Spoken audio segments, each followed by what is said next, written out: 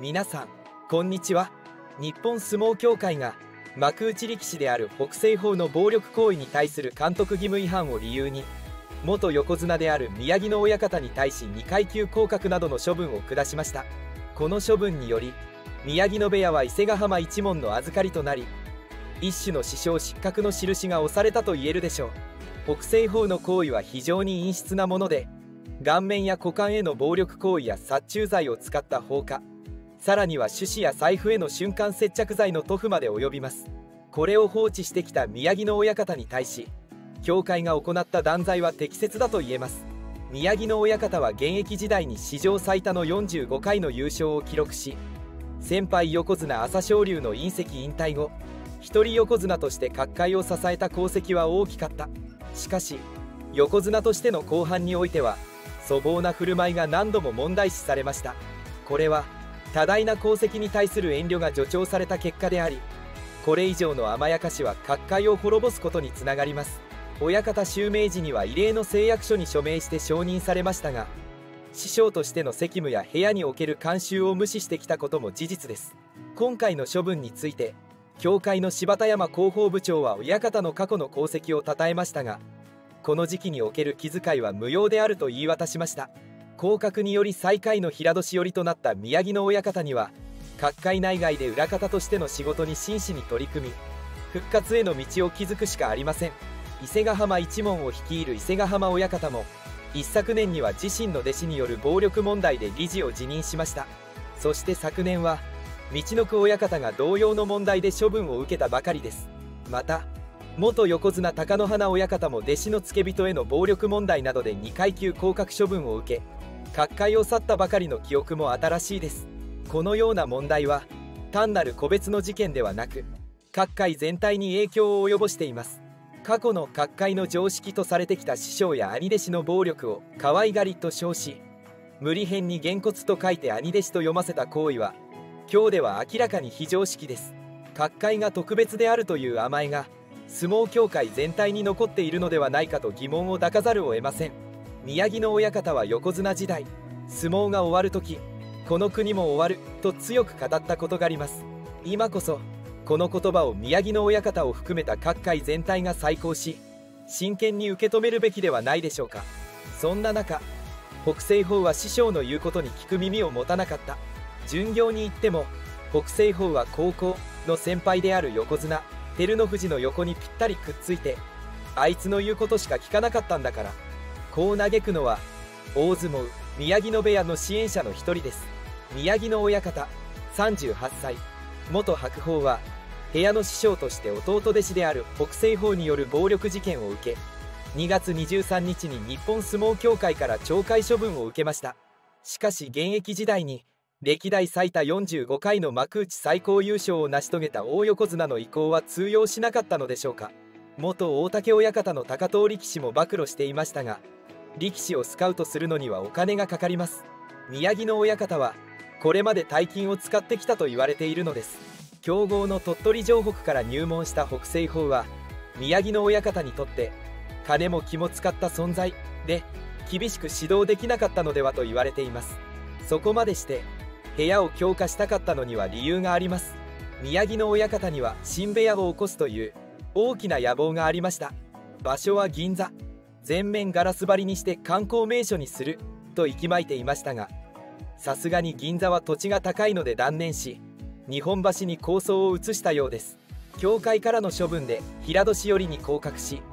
3月場所は部屋での指導すら許されない宮城の親方ですが実は日本橋ヘアへの具体的な動きを水面下で進めていたのです。宮城の親方は2023年12月に日本橋小網町の約150坪の土地を購入していました。東京駅からも徒歩に20ほどでかなりの一等地。相場からして坪単価は900万円ほどで購入価格は13億から14億円だったのではないでしょうか。さらにその土地にはネテイトー券が16億円で設定されていることが判明しています。このネテイトー券を設定したのはパチンコメーカーである三協のブ島秀幸会長の資産管理会社です。ブ島氏は宮城の親方にとって重要な支援者であり大谷町とされています。ブ島氏は長年にわたり少年相撲大会白鵬杯の協賛や横綱時代の白鵬関に密着した番組の提供などを行ってきました。相撲部屋を建設するには数億円の費用が必要であり宮城野親方の日本橋部屋の建設費は総額20億円とされています。この費用を捻出するためにブス島氏が尽力したとされています。宮城野部屋関係者は部屋の存続自体が揺らぐ状況になってしまった直後こうぽつりと漏らします。日本橋のことは知っていました。でもこんな処分になってしまってもうあの話はなくなったと思っています。との思いを漏らしました。宮城の親方とブス島氏に計画について問い合わせましたが返答は得られませんでした。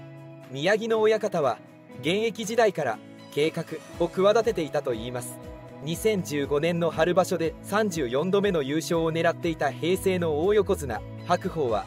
まさに相撲界のトップに君臨する存在でした。しかし初場所以降の白鵬の言動は従来のイメージとはかなり異なるものがありました。これには2014年4月に起きた大島部屋の存続問題が関係しているようです。この問題が発端となり宮城の親方との確執が生まれたとされています。宮城の親方からモンゴル力士の受け入れが拒否されたことで白鵬は自らの地位を確固たるものにするために奔走していたようです。昔は非大相撲部出身の日大罰が強かったのですが最近では鳥取城北高校 OB グループが勢力を拡大しています。その中で前頭逸ノ城を筆頭にした10人の力士たちが活躍しており白鵬もこのグループに大きな影響力を持っていたようです。当時白鵬には4人の内弟子がいました。内弟子とは将来独立して部屋を持つことを前提に現役中の力士が見込んだ入門者を師匠に預かってもらう形で取る弟子のことで独立した時に関取に成長している力士がいると部屋経営がやりやすくなるといいます。初めて内弟子となったのは鳥取城北高の1年生であり高校横綱としても知られ2012年3月場所で幕下付け出しでデビューした大気砲でした。2人目は同高校の相撲部監督の息子であり2013年1月に初土俵を踏み今場所で新十両に昇進した石浦でした。山口と石浦は中学高校時代からの同級生であり山口は当初春日山部屋への入門が内定していましたが白鵬が城北高の監督を後押しし口説き落としたと言われています。一方石浦は白鵬が監督に絶対に関取にすると約束し内弟子に取り上げられました。その後白鵬は2013年の初場所で初土俵の原田に続いて同じく春場所でも鳥取城北高校の OB である谷川山を4人目の内弟子として迎え入れました。その結果白鵬は鳥取城北ルートを通じて有力な力士を確保するだけでなく宮城野部屋には自身を含めた5人の白鵬部屋力士がいることになりました。親方と断絶の白鵬は事実上の白鵬部屋で5人の力士を束ねるという形になっていたのです。しかし宮城の親方は白鵬の内弟子たちに指導する権限がないため部屋は実質的に分裂状態になっていたと言われています。宮城の親方は現在教会内で孤立しており部屋の存続を維持するためには厳しい監視が待っています。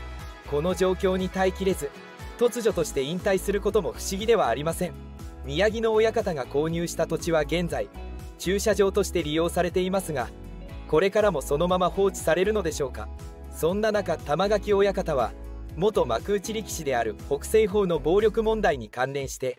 宮城の親方の師匠代行に指名され28日がその稽古の初日でした。玉垣親方は報道によると不祥事が再発すれば私も含めてクビとコメントしました。それを聞いた人々からはインターネット上で多くの同情の声が寄せられました。玉垣親方には負担が大きいという懸念や不当に全ての責任が玉垣親方に押し付けられていると感じる声もありました。さらに玉垣親方の健康や心配についても多くの人々から声が上がりました。スポーツ紙の報道によると玉垣親方は稽古初日を翌日に控えた27日。日本相撲協会から部屋がないものとして行動を制限してくれと説明されたことを明かした上で部屋に所属する全力士に対して日常生活の買い物や病院への通院治療などを除く外出を自粛させる決断をしました。玉垣親方はアマチュア相撲の強豪である。日本大学を卒業した後は高校で体育教師として働きながらアマチュアの大会にも積極的に参加していました。安定した職を捨てて27歳で初めて土俵に上がり元教師が角界に入るという異例の経歴は当時大きな話題となりました。いかがだったでしょうか？今回は宮城の親方について深掘りしてきました。よかったらコメントで皆さんの考えや感想を聞かせてください。最後までご視聴ありがとうございました。この動画が気に入っていただけましたらチャンネル登録高評価をお願いします。